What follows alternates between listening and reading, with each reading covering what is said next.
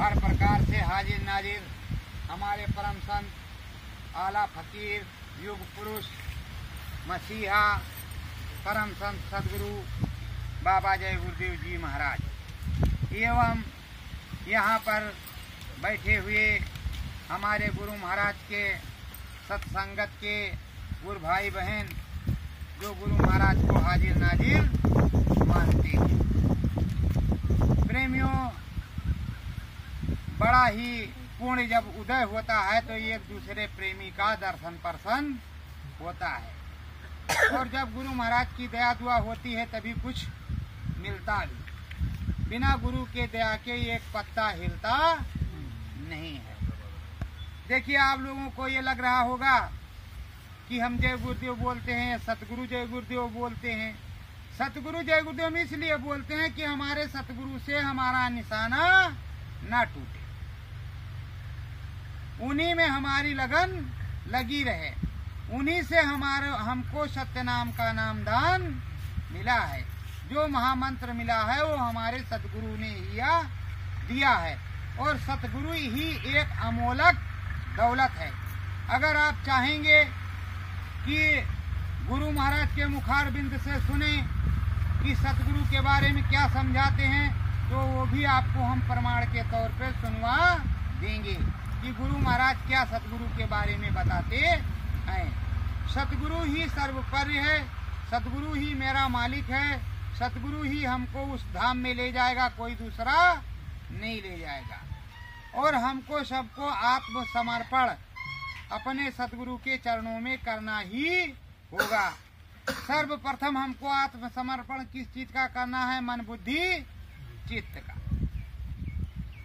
इसका जैसे समर्पण कर देंगे गुरु महाराज को, दे देंगे और गुरु महाराज से कह देंगे कि मालिक, इसे आप ही संभाल करके रखिए, हमारे बस की बात नहीं है, मेरा कहना नहीं मानता। और अगर आप ये सोचते हैं कि हमने एक हज़ार या दस हज़ार रुपया दिया है, उस सेवा के बदले हम पार हो जाएँगे तो आपने दस हज़ार दिया, किसी ने एक लाख भी दिया होगा। अगर आपको दक्षिणा देने हैं तो गुरु महाराज से नित्य प्रति ये प्रार्थना और विनती करो कि हे मालिक, दक्षिणा स्वरूप हमारे पास देने के लिए कुछ नहीं जब ये दुनिया, ये शरीर नाशवान है सूरत जीवात्मा ही आपका अंश है। अगर उसी को दक्षिणा स्वरूप स्वीकार कर लो तो ज़्यादा अच्छी बात है। मेरा भी काम बन जाएगा और आपकी दक्षिणा भी आपको मिल जाएगी।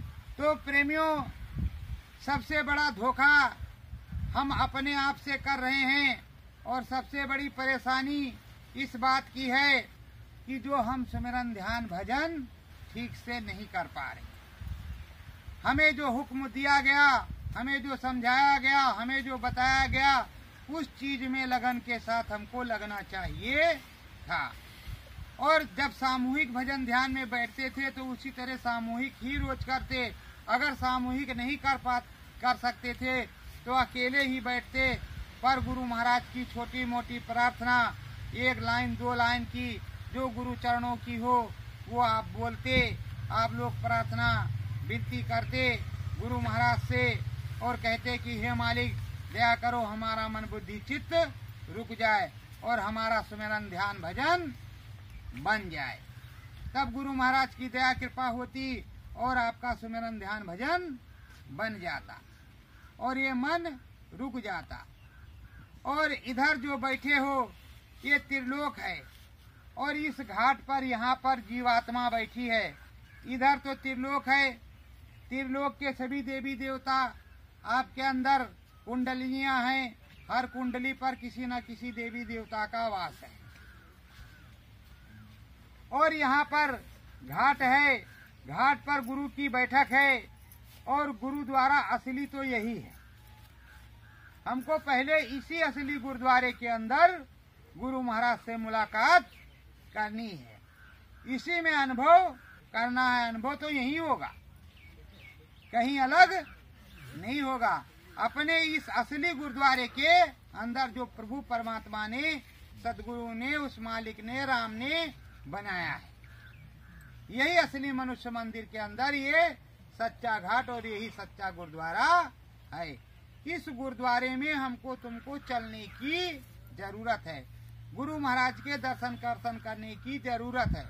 और जैसे गुरु महाराज की दया, कृपा हो जाएगी घाट खुल जाएगा तो अंतर अनुभव आपको होगा।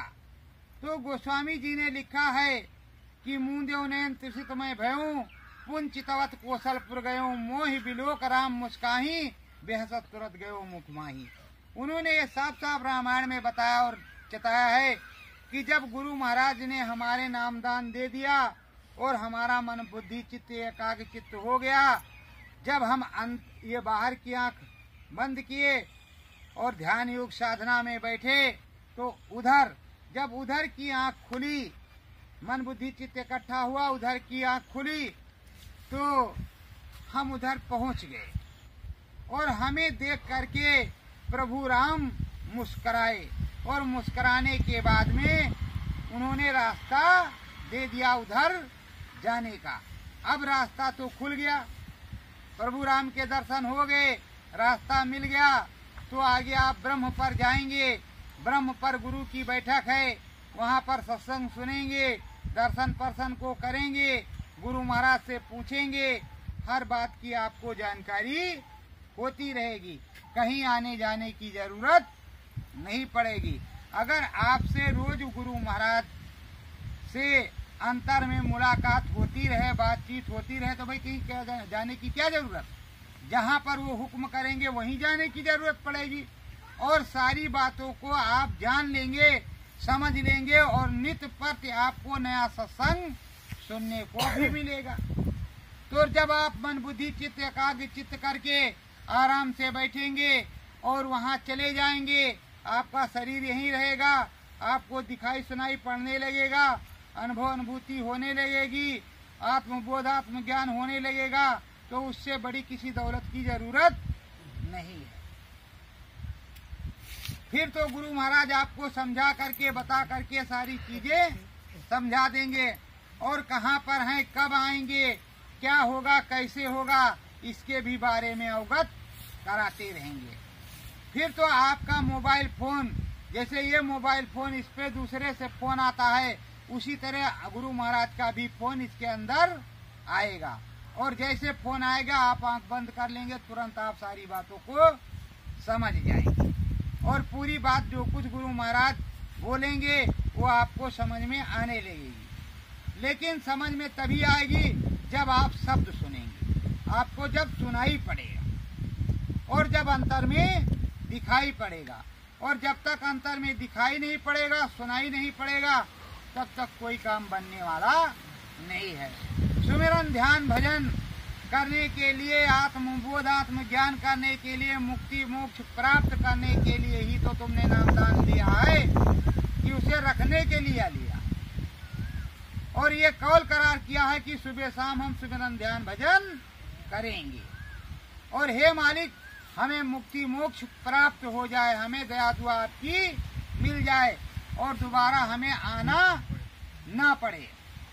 तो जब दोबारा आना ना पड़े, तभी तो मुक्ति मोक्ष हमको प्राप्त होगा और प्रभु राम के दर्शन के बाद फिर हम ब्रह्म पर जाएँगे ब्रह्म लोक के दर्शन को करेंगे और धीरे धीरे गुरु महाराज पार ब्रह्म पर ले जाएँगे, पार ब्रह्म पर स्नान करेंगे हरि के घाट पर, वहाँ हरि के द्वार में मान सरोवर में तो ये जितनी महिलाई है कूड़ा कचरा और जो पाप पुण्य है, वो तो कर्म बीज सब जल जाएगा, खत्म हो जाएगा। अब तुम्हारे ऊपर कुछ नहीं रहा।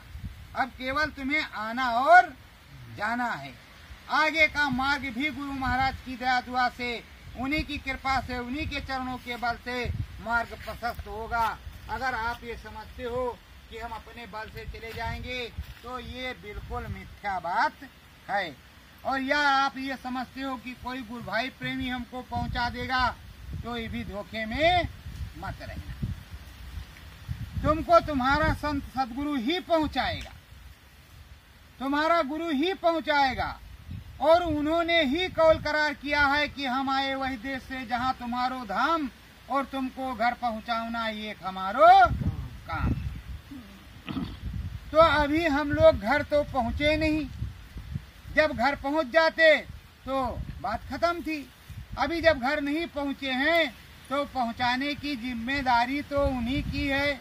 हमारी तुम्हारी ज़िम्मेदारी है सुमेरन ध्यान भजन करने की। तो प्रेमियों, लग करके सुबह शाम सुमेरन ध्यान भजन करो। लेट करके करो, बैठ करके करो, जैसे बन पटे वैसे करो, परंतु सुमेरन ध्यान भजन ज़रूर करो। जैसे आपके घर में दरवाज़ा लगा है, अंदर से कुंडी बंद है, आप दरवाजे पर कुंडी खटखटाते हैं बाहर से तो घर का स्वामी दरवाज़ा खोलता है। उसी तरह इस दरवाजे पर भी कुंडी खटखटाइए। अपने गुरु महाराज को याद करके उस कुंडी को खटखटाना शुरू कीजिए और रोज खटखटाइए सुबह शाम। और गुरु जब खुश हो जाएँगे तो दरवाज़ा अपने आप खुल ही जाएगा। उसके लिए चिंता करने की कोई बात नहीं। अब रही बात कि जैसे तुम्हें आत्मबोध, आत्मज्ञान कैसे होगा, सर्वप्रथम तो तुमको अपने आप में विश्वास पैदा करना पड़ेगा कि हम इस काम को कर लेंगे। उसके बाद में आप एकाग्र चित्त होकर के कभी भी ज़मीन में इस तरह कर करके इस तरफ़ को, ज़मीन की तरफ़ मुँह या गर्दन झुका करके सुमिरन ध्यान भजन नहीं करेंगे। या तो सीधा रखेंगे और या तो थोड़ा ऊपर को करेंगे। इस तरह से सुमिरन ध्यान बैठ करके भजन करेंगे, तब आपको अनुभव अनुभूति होगी। दिखाई सुनाई पड़ेगा। आप ब्रह्म पार ब्रह्म महाकाल पुरुष सद्धाम ही जाएँगे। ये शंका मत करो कि हम नहीं जाएँगे। और ये तमन्ना करो कि हम सद्धाम ज़रूर जाएँगे। ये मेरी मालिक की मौज है। वो गुरु महाराज समर्थ हैं और हर प्रकार से समर्थता का गुणगान उन्होंने गाया है। जब गाया है, जब मीरा पहुँच गई, हृदय पहुँच गए तो हम भी उसी गुरु के शिष्य हैं। हम क्यों नहीं पहुँचेंगे? ऐसी दृढ़ इच्छा शक्ति रखो। और ऐसा जो है, अपने आप में ज्ञान, आत्मविश्वास पैदा करो कि हम ज़रूर जाएँगे। और ये मत सोचो कि हम बुढ़े हो गए हैं, अब हमसे कुछ नहीं बनेगा। अरे, मन नहीं बुढ़ा होता। वो तो तुमको मुँह से बोलना। माला नहीं चल रही है, कोई बात नहीं। चलो, तुम्हारा हाथ नहीं काम कर रहा, माला रखा रहने दो, लेकिन श्वास और अंतर में तो श्वास चल ही रही है, श्वास पे ही सारी चीज़ बोलना है। जबान हिलानी नहीं है तो उस तरह से सुमिरन ध्यान भजन कीजिए। और जब सुमिरन ध्यान भजन करोगे तो परमानंद प्राप्त होगा। बनेगा तभी जब संत सदगुरु के सहारे रहोगे, और करोगे तभी कुछ मिलेगा। बाहर से हमारी तुम्हारी इच्छा बहुत है। कि गुरु महाराज जितनी जल्दी आ जाते, उतनी जल्दी दर्शन कर लेते। पर बाहर और अंदर में कोई फ़र्क नहीं। अंदर भी दर्शन जब होता है तो मन उतना ही प्रफुल्लित होता है। उतने ही दया दुआ मिलती है, गदगद होता है। और सारी विद्या जो है, तुमको अंतर की पढ़ाई है, बाहर की नहीं पढ़ाई। दुनियादारी में रहे तो दुनिया की चीज़ों को आप मांगते रहे तो दुनिया के काम भी आपके करवाते रहे। यहाँ तक आपने जब दरिया उठाना शुरू किया, गोबर की नहीं उठी तो उसमें भी जय गुरुदेव बोले आप। तो गुरु महाराज को उसमें भी हाथ लगाना पड़ा। तो हर काम तो गुरु महाराज से आपने करवा लिया है। और जय गुरुदेव, असली आप लोग बन गए। शाकाहारी वर्दी पहन के निकलते हो तो लोग कहते हैं, जय गुरुदेव धराओ बताओ क्या हाल चाल है? कोई नबी भविष्यवाणी। और ये तो बाबा बाबा ही रहेंगे असली जय गुरुदेव आप लोग बन गए। तो जब जय गुरुदेव असली आप लोग बन गए हैं तो असली जय गुरुदेव वाला काम भी तो करो। जो बताया है उस काम को भी तो करो। और उस काम को करोगे नहीं तो कुछ मिलने वाला नहीं है। फिर माला पहन लो, सदरी पहन लो, चाहे कुछ भी पहन लो, जय गुरुदेव बोल लो। कुछ नहीं बोले और जब तक सुमिरन ध्यान भजन बनेगा नहीं, दिखाई सुनाई पड़ेगा नहीं तो खुद तुम्हें ना आत्मबोध होगा, ना दूसरे को तुम कुछ कह सकते हो। बात विवाद तो कर सकते हो, विचार विमर्श कर सकते हो, लेकिन सबसे बड़ी चीज़ है अनुभव अनुभूति आत्मज्ञान, आत्मबोध की ज़रूरत है। अब हम ये चाहते हैं कि अभी तो एक दो को छोड़ करके सभी ने सत्संग थोड़ी देर, थोड़ा से ज़्यादा से जो कुछ हुआ, उसको सुना। हम चाहते ये हैं कि कम से कम पाँच मिनट, दस मिनट के लिए अपना मन, बुद्धि, चित्त, एकाग्र, चित्त हो करके बैठिए और केवल सतगुरु जय गुरुदेव बोलिए। या आपको सतगुरु जय गुरुदेव बोलना, बोलने में दिक्कत है तो स्वामी जय गुरुदेव बोलिए। मालिक जय गुरुदेव बोलिए। अगर आपको ये बुरा लग रहा हो, और जबकि सारी प्रार्थना में यही लिखा हुआ है, जितनी विनती प्रार्थना करते हैं हम सब सदगुरु की ही करते हैं, किसी दूसरे की प्रार्थना नहीं करते। और हर जगह यही लिखा है, सतगुरु सतगुरु शब्द सब कहीं आता है। तो जो हमारे सतगुरु हैं, यही हमारे सतगुरु हैं, यही हमारे स्वामी हैं, यही हमारे मालिक हैं। तो जो सत्य के गुरु हैं, उनको जब हम याद करेंगे, तभी कोई काम बनने वाला है और इससे पहले कोई काम बनने वाला नहीं है। तो आप लोग अपने अपने आँखों को बंद करेंगे। और चाहे तो जैसे ये गमछा लिए हुए हैं, आँख नहीं रुक रही है तो आँख पर ऐसे अपना पट्टी डाला और आँख ये सर्वप्रथम ये आँख हरकत कर। तो इस आँख पर आप अपनी उंगली रख लेंगे दोनों पर ऐसे और देखने की कोशिश यहाँ पे करेंगे। तो कुछ ना कुछ तुमको नीला, पीला, काला कुछ ना कुछ दिखाई ज़रूर पड़ेगा। और उसके बाद में जब भजन करेंगे तो आँख को छोड़ देंगे, दाहिने कान पर सुनने की कोशिश करेंगे और उंगली इस तरह से ऐसे करके नहीं लगा लेंगे, ऐसे करेंगे। तब इसमें शब्द आना शुरू हो जाएगा। जैसे बाजा बज रहा, वो तुमको सुनाई ना पड़े इस तरह से तुमको कान बंद करना। है अब आप सबसे प्रार्थना यही है कि आप पाँच मिनट बैठ पाए तो पाँच मिनट, दस मिनट बैठ पाए तो दस मिनट के लिए पहले ध्यान पर बैठ और एकमात्र काम यही करना है। और अगर आँख उस तरह नहीं रोकना चाहते तो ये जैसे गमछा है, पगड़ी है। इसमें दो गांठ बांधते हैं।